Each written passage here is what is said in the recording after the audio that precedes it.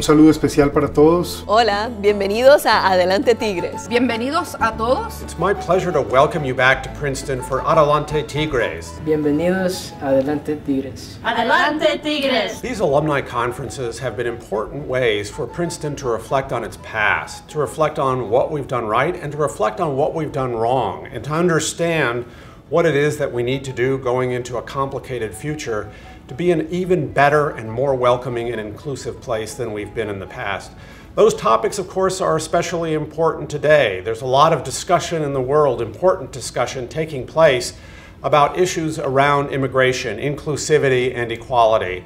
And one of the things that gets me excited about this conference is our opportunity to talk about those issues in terms that are personal and terms that are scholarly. And I look forward to joining you in those conversations. Coming to Princeton and being such a minority, because a minority is a woman, a minority is a person of color, a minority is a low income person, was jarring and at the same time inspiring because I took the opportunity to learn a lot more about my own culture.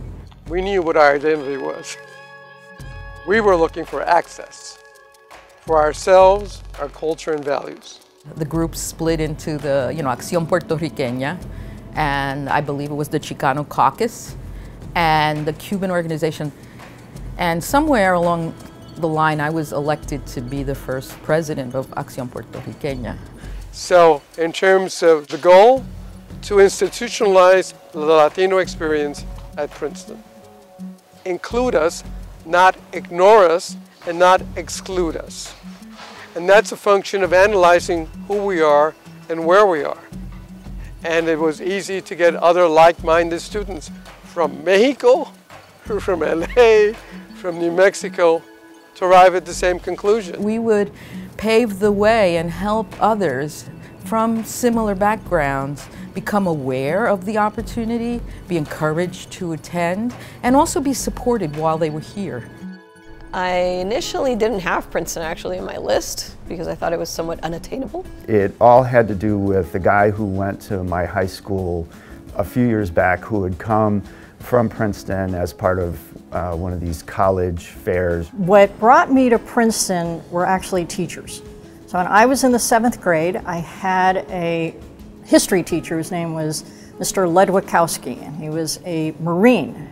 And he said to me, you know, you're a smart kid. You should think about going to a place like Princeton. I went and visited the campus, and I was thrilled by the community that I saw there. It was supportive, but was also engaged with the rest of the campus. And I just became enamored by what was available. And I received the brochure and the trifold uh, pamphlet and fell in love with Princeton and what I read about it. So it was the only school I applied to other than the University of Texas at Austin where I had a full scholarship for the honors program. I applied early, I got in, and then all of my friends and relatives and parents and brothers and sisters said, well, that's great, but how are you going to pay for it? In my view, there was no other choice to go anywhere other than Princeton obviously things worked out. Uh, the incredibly generous uh, alums of Princeton University made it possible for me to get through the university. And it's true for my wife as well. My wife comes from a working class family and the university and the alumni made it possible for her and for me to, uh, to get through this incredible place. The, the Latino student organizations tended to serve as a real cohesive space, but it was not, like I said, an exclusive community. Most of us roomed with people who were not uh, Hispanic. I was involved in other organizations as well. For example, I was a member of the Princeton equestrian team. Um, I was part of the Russian club in my first few years. Uh, so we all did other things as well. It's, you know, it's a very tumultuous time in your life as you're trying to make out who you are and what you're going to do with the rest of it. For any student at Princeton, you know, going to college, um, it's something you have to acclimate yourself to. And every student at Princeton, regardless of nationality or ethnic origin, has to make that adjustment. Students today, I'm sure, struggle too. Uh, but it's just part of being young and being 18, 19, 20 and feeling kind of alienated here, and I did I do feel like we were. In the fall of 1995, there was a call for students who were interested in ethnic studies, what we had identified at the time as Latino and Asian American studies, to attend a meeting at the Third World Center. And it was a pretty active, lively discussion on what we needed to do as a community to ensure that we made progress with these two programs, these two initiatives. So as a result of that meeting, a suggestion was made that we think about the idea of a sit-in. We proceeded to set a, a, date for, for the sit-in and 17 of us gathered and walked into Nassau Hall and that's where we, we spent the, the day and a half uh, voicing our concerns. At the end of the sit-in, the students who were working as the negotiators met with the administration and felt that their, their needs, their specific concerns were addressed. The university made a commitment to allocate funds for um, professorships in the areas of Latino and Asian American studies and also allocated funds to develop curriculum in, in those, those two areas. We had strong leaders at the time um, of the student uh, organizations. They wanted to have a Latino studies program where they could at least earn a certificate. The importance of the intellectual domain asking the questions, not let's compare Latinos to whites, blacks, and others, which is an important exercise, but what can we learn about labor markets by studying Latinos? What can we learn about language acquisition by studying bilingualism? What can we learn about education systems and how they are not uh, operating effectively by studying Latinos? That's a different way of, of phrasing and posing the questions, which is what I try to do rather than saying, oh, it's our turn, let's add another column to the comparison. Adelante means, you know, forward, onward. I think it's an important opportunity to see where the university is because the university is, is an institution that continues to grow, develop, and change. And whatever the, the, the, alumni got out of it, they, could, they still have an opportunity to give back and call and forge the next generation. The students who come here are second to none when we think about the big distribution and of possibilities and opportunities. And to participate in shaping that, I think, is a, is a, a phenomenal opportunity. As a graduate student, being a Latino, the experience is fundamentally different than as an undergraduate.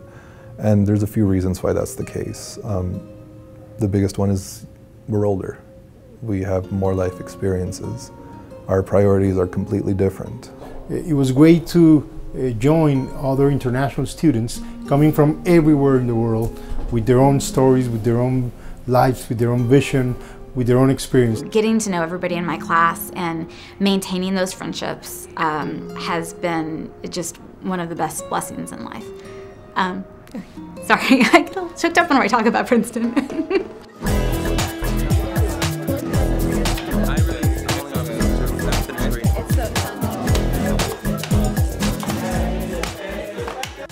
So Ballet Folklorico at Princeton, it's Mexican folk dance music. It's beautiful. Each state in Mexico has their own tradition of the music and the costumes. We went about starting the first urban Latin dance company on campus called Mas Flow Dance Company. And within four years, it became one of the biggest dance companies on this campus. We, we, we danced the traditional salsa, merengue, bachata, kizomba, samba, and we always always encourage our members to like take on a choreography. I brought with me today two pictures from graduation. My mom my grandma in the middle and my tia then my uncle Raimundo and myself. And unfortunately um, my uncle Raimundo passed away um, about three years ago. And everything I'm doing is to honor his memory and also to, you know, honor the three amazing women who raised me to who I am today. Uh, my parents migrated from El Salvador in the 80s during the Civil War, and it wasn't easy for them. And this is something that, you know, when I wake up on a day-to-day -day basis, you know, it's something I think about. You know, it's like I have a ton of opportunities that they didn't, and so now, like, I'm focused on making the most of them. I don't think I'll ever face as much adversity as they faced, you know. And I mean, when when I think about who I want to become in life, it's like I want to become them. You know, I want to be able to overcome no matter everything, no matter what life throws at me. You know, a lot of people had told my mom that she wasn't raising me right, that I was reading too many books and I had too many grandiose ideas. I, I lived too much to debate and to argue as opposed to actually going out and doing work with my hands. I feel as though I I have that responsibility now to like go back and show the people that in my community that it's possible to do big things, to dream big.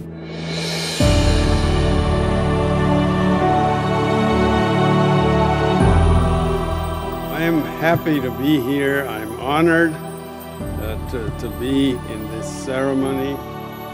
What stood out to me were the diverse, vibrant, interconnected communities from which Princeton was formed and which have shaped my time here. I first became involved in ALPA, which is the Association of Latino Princeton Alumni. It's been about seven, eight years. We started to put a working board together and having elections uh, and reconnecting with alums, fellow alums, and the current students here. And actually, that helped me understand that uh, I am a Princetonian. I do think it's important for alumni and for students to know that there are uh, Latino alumni on the board of trustees. When the alumni elected me university trustee, I think I was in a state of shock that I was actually coming back to Princeton as a trustee. I was amazed that a Mexican American kid from San Antonio, Texas, could ever come back to a place like Princeton and be trustee. I was incredibly humbled um, to be offered that position of trust. I'm very grateful to Sonia Sotomayor, who was here when I was here and who um, told me when my daughter was going to come here that I shouldn't let anybody else bring her. She wanted to bring her here. And a year or two ago, she told a story at Alumni Day. One of my most joyous moments of my life was helping Margarita bring her daughter, Marisol, to Princeton. It was that moment of separation from your child. And so to have a friend, a dear friend who had been here with me, who was very proud and happy that my daughter was coming, who had actually brought her things to the campus, and then sat with me as I sort of sniffled uh, when I walked away and realized that my little girl was now a college student, uh, was really very, very sweet. I was very moved to see Sonia Sotomayor's quote engraved in the middle of campus greens in front of Nassau Hall. That to me is emblematic of what this conference means and what it's going to allow Latino alumni to do. Princeton in the nation's service, in the service of all nations, and in the service of humanity, one person and one act at a time.